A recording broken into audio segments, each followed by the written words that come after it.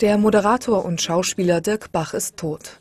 Nach Angaben der BZ soll der 51-Jährige in seinem Apartment in Berlin-Lichterfelde verstorben sein.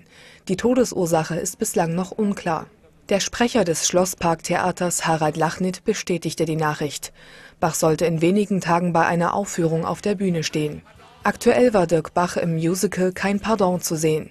Auch im Fernsehen trat der beliebte Schauspieler regelmäßig auf. Sein Tod kommt deshalb umso überraschender.